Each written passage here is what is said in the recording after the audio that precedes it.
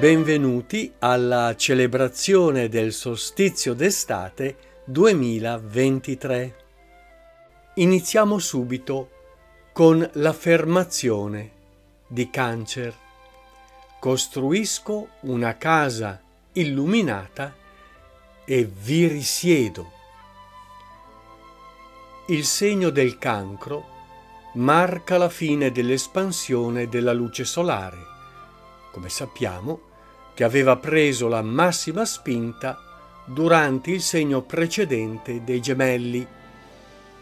E dunque il 21 di giugno sarà il momento di massima espansione della luce, massima durata del dì. Il solstizio d'estate, che è la porta degli uomini, si trova proprio all'inizio dell'entrata del Sole in questo segno e corrisponde al giorno più lungo contrapposto alla notte più corta dell'anno, come appunto poc'anzi dicevo. Simbolicamente questo significa limitazione. Non si può andare oltre un dato punto. Ogni traiettoria ha il limite datogli dalla spinta dinamica che ha ricevuto. Nel sistema solare tutto sottostà alla legge del ciclo e del ritmo, dunque anche a questo ciclo del solstizio che determina appunto questa massima espansione della luce. Il cancro rappresenta l'entrata nel mondo delle forme durante l'incarnazione fisica. È il segno opposto al Capricorno, che è per l'appunto la porta degli dei, che è l'entrata nella vita dello spirito. Si dice che il Cristo dette a San Pietro le chiavi del cielo e della terra cioè gli dette le chiavi di queste due porte, e attraverso il cancro l'anima discende sulla terra per prendere corpo alla sua prima incarnazione, che è la sua morte spirituale da quel punto di vista, e attraverso il Capricorno ritorna al cielo e si libera dalla forma, avendo redento l'aspetto materia. E questa è la fine di tutti i cicli, quando finalmente, avendo compiuto la nostra opera evolutiva, possiamo ritornare come monadi arricchite da una personalità integrata alla casa del Padre. Dunque, il cancro è uno dei bracci della croce cardinale. Hmm. Un secondo braccio è l'ariete, il segno del principio, della vita interiore per l'aspirante nello stadio prenatale o involuzione, e il primo passo dell'anima verso la liberazione spirituale. Un terzo braccio è la bilancia, la scelta della via tra i due opposti, l'inizio del sentiero stretto, proprio perché è un sentiero di massimo equilibrio, la via del giusto mezzo, come diceva il Buddha, e a cui spesso ci riferiamo. Il Capricorno è il quarto di quella croce la nuova nascita fuori dal mondo della materia. Involuzione, incarnazione, espressione ed ispirazione sono le quattro parole che esprimono la storia della croce cardinale nei cieli, che è la croce dell'iniziato. Ricordiamocelo sempre, questa croce cardinale, la croce dell'iniziato, che determina le quattro direzioni da prendere affinché si giunga alla completezza del percorso. Dunque, questo succede ogni anno e infatti ogni anno ripassiamo la stessa lezione dello zodiaco che si ripete, si ripete ciclicamente proprio perché ripetendo questo suo ciclo noi comuni mortali impariamo. E lo sappiamo ormai che si impara con la ripetizione costante e reiterata affinché quel percorso di crescita via via appaia sempre più piano percorribile in tutta sicurezza. Mm. E dunque dobbiamo comprendere mm, che questo ripercorrere lo zodiaco, eh, che scorre come uno splendido nastro ideale, punteggiato da stelle, ci inonda questo percorso di energie particolari e specifiche, di cui noi possiamo servirci per dare quel tocco in più al nostro lavoro di allineamento e sintonizzazione con il disegno divino. Per quanto riguarda la nostra esistenza. Dunque è molto importante per questo nostro percorso. Ad ogni passaggio dal segno del cancro, anche se tutto il lavoro non è ancora stato compiuto, quello che si può udire è la nota della possibilità di conseguimento. Quindi sentire che la meta si avvicina, che è possibile raggiungerla.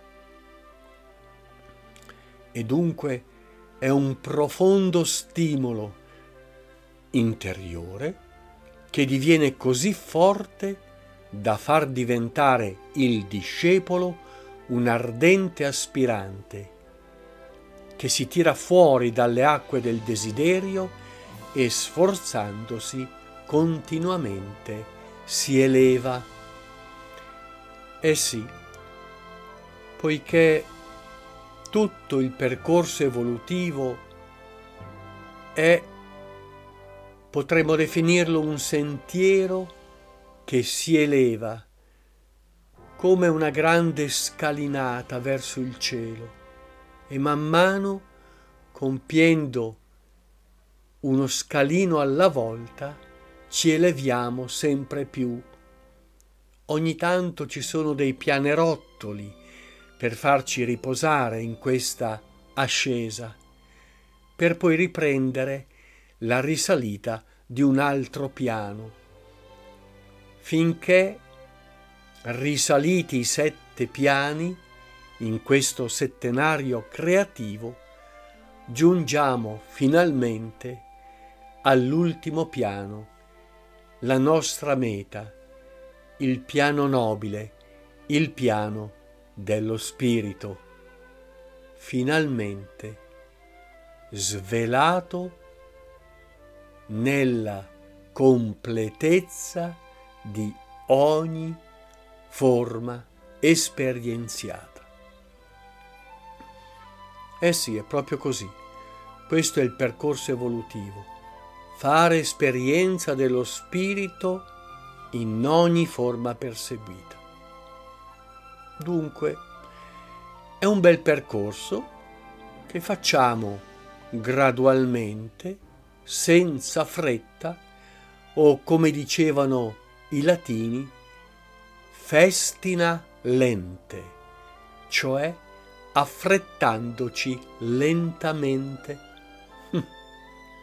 Questa la saggezza degli antichi latini. Eh,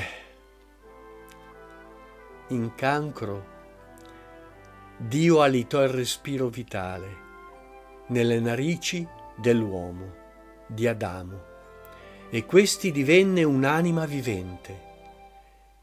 Queste parole descrivono il rapporto che nella mente di Dio esiste fra spirito, il respiro vitale, l'anima, cioè la coscienza che si incarna, e l'uomo, la forma, la forma che quello spirito attraverso l'anima prende per provare l'ebbrezza della manifestazione.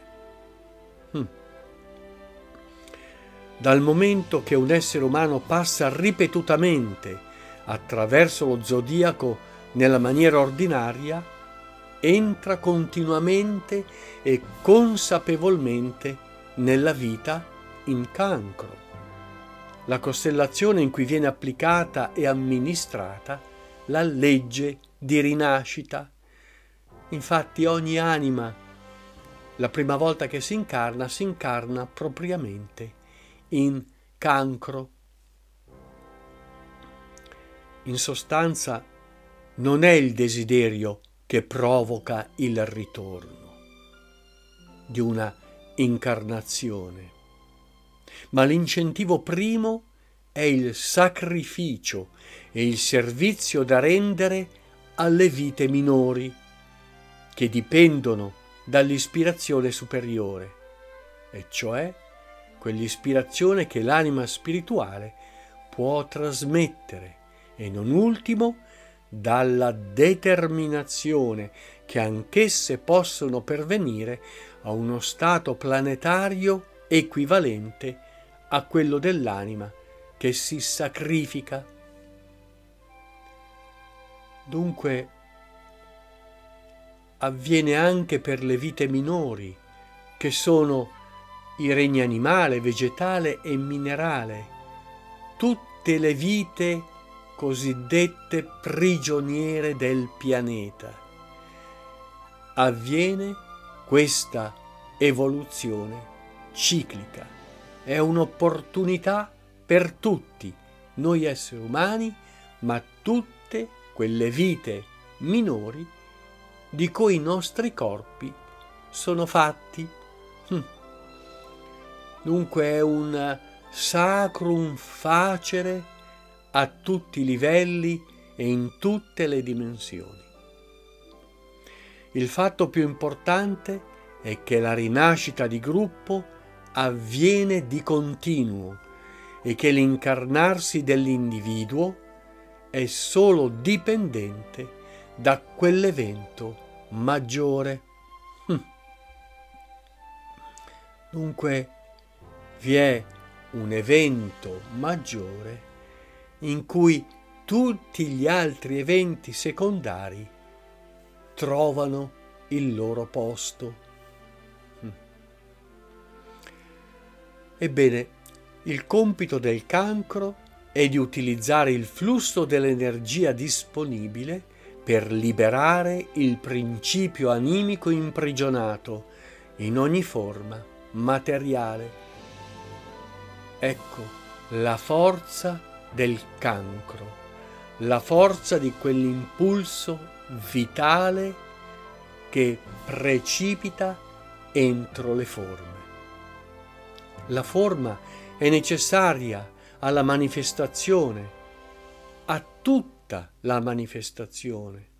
Soltanto la materia può e deve provvedere il veicolo che l'anima utilizza. E certamente, solo così l'anima può incarnarsi e fare il suo percorso evolutivo. Hm.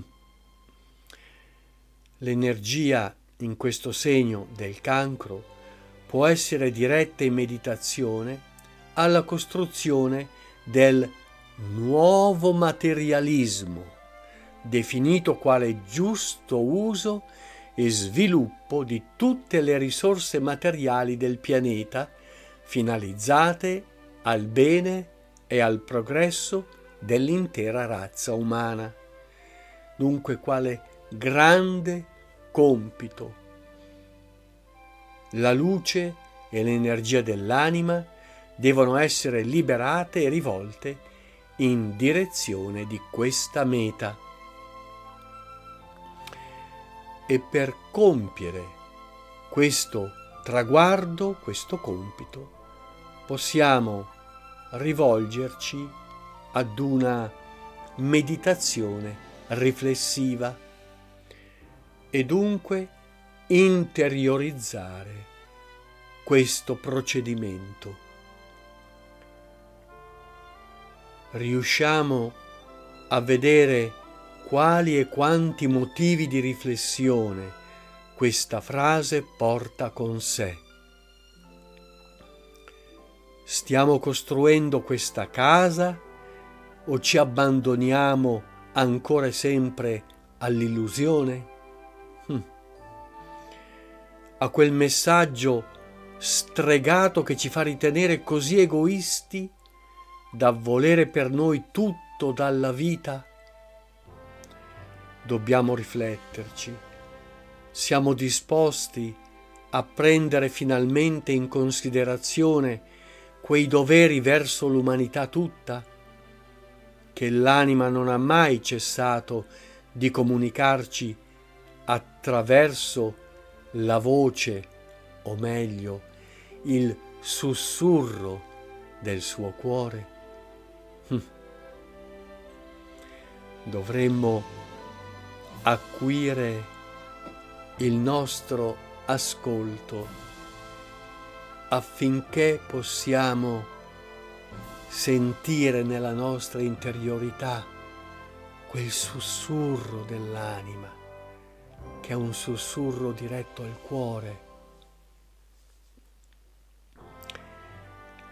E dunque cominciamo veramente a esplorare il nostro cuore nel più assoluto silenzio della mente per scovare in lui la vera sorgente d'amore.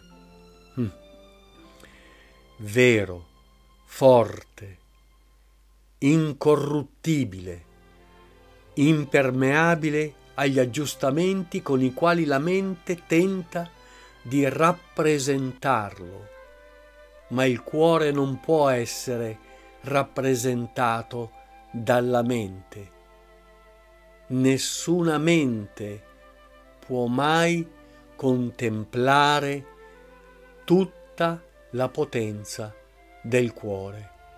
Un cuore aperto, un cuore acceso, come quel cuore ardente del Cristo che cerchiamo di emulare e di riprodurre in noi. Proviamo a fare questo, mettendo un limite alla nostra espansione personale, egoistica, per entrare nel cuore dell'umanità e sentirne tutta l'angoscia, la sua sofferenza e la paura che l'attraversa rendiamoci conto che la paura è un degrado del primo raggio di volontà. Dunque, quando siamo assaliti dalla paura, inevitabilmente perdiamo la direzione e possiamo recuperarla solo se facciamo eh, facciamo, troviamo la risorsa, facciamo uso del coraggio, quel coraggio che si eleva sopra quella pesantezza procurata dalla paura e ci svela nuovi orizzonti di azione. Dunque ben venga il coraggio del cuore. E non abbiamo alcun timore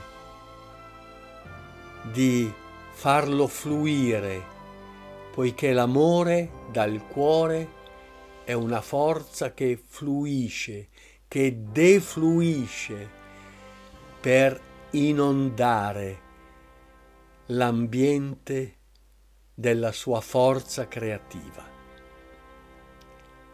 Proviamo a fare questo e dunque mettiamo un limite all'espansione egoistica personale, sentendone quell'angoscia, ma come cellule del grande organismo dell'umanità abbiamo ora la responsabilità, proprio nel momento di maggiore presenza della luce, di costruire in essa e con essa, pensando e vivendo come anime. Costruiamo una casa di luce in noi, nel nostro cuore. Nessuno potrà distinguerla perché è fatta della più sottile energia che si conosca, quella appunto dell'amore. Costruiamola sulla roccia della volontà di bene, lasciandoci guidare dalla intelligenza del cuore che unisce la mente al cuore e fa agire la mente secondo la visione cardiaca. Dunque quell'intelligenza del cuore, quella che non ragiona in termini personali, ma trasmette progetti e necessità globali da costruire attraverso l'unione di gruppi di lavoro. Quindi il lavoro di gruppo è ciò che ci porta questo solstizio d'estate la spinta in avanti, in termini materiali, deve oggi cedere il passo alla spinta in avanti in termini spirituali. La grande lezione di questo segno e di questo momento ciclico è che dobbiamo riorientare tutto il nostro modo di vivere, finora basato sulla nozione di quantità, per passare alla nozione di qualità del vivere, quindi dalla quantità alla qualità, poiché nell'amore pervade la qualità ed è essa ad essere riferimento della quantità e dell'abbondanza. Bene, è proprio tutto quello che concerne cancer e questo solstizio d'estate. Ed ora, come sempre, terminiamo con la grande invocazione. Dal punto di luce entro la mente di Dio affluisca luce nelle menti degli uomini, scenda luce sulla terra. Dal punto d'amore entro il cuore di Dio affluisca amore nel cuore degli uomini, possa Cristo tornare sulla terra. Dal centro, ove il volere di Dio è conosciuto, un proposito guidi i piccoli voleri degli uomini, il proposito che i maestri conoscono e servono. Dal centro che vien detto il genere umano si svolge il piano di amore e di luce e sigilli la porta dietro cui il male risiede. Che luce, amore e potere ristabiliscano il piano sulla terra. Bene,